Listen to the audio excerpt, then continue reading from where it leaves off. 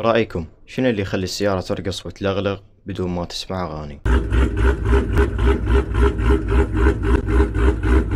أكيد الكام شيفت واللي آلية عمله كالتالي. عندك محرك به اسطوانة يدخل إلى خليط احتراق ويحترق بها ويطلع من عندها لي برا. زين شلون تدخل وتخرج كل هاي المواد للإسطوانة؟ شوف عمو أكو شي اسمه صمام أو ولف. هذا يفتح يدخل خليط احتراق يرجع ينسد. واكو صمام ثاني يفتح ورا ما يتم الاحتراق حتى يطلع الدخان اللي نتج عن الاحتراق لبرا. زين منو يفتح ويسد هذين الصمامات؟ أكيد مو أخوك الصغير. اكو شغلة اسمها ال camshaft. هذا هو اللي يتحكم بفتح وغلق الصمامات ويكون عبارة عن عمود وبشكل متكرر شبه بيضوي واللي يسمونه كامة. هي هاي المسؤول الرئيسي عن فتح وغلق الصمامات. وهذا ال camshaft ياخذ الحركة مالته من ال crank ويكون مربوط به عن طريق قايش. وهذا ال camshaft يكون مصمم ومرتب حسب قياسات ومعايير دقيقة. تخليه يفتح من يكون المحرك محتاج يدخل خليط احتراق وينسد حتى يصير ضغط واحتراق والصمام الثاني يفتح حتى يطلع الدخان مال الاحتراق. طبعا لا تستغرب إذا شفت أربع صمامات على كل سلندر. هذن يكون اثنين منهم للإدخال أو ال intake واثنين للإخراج أو لل exhaust.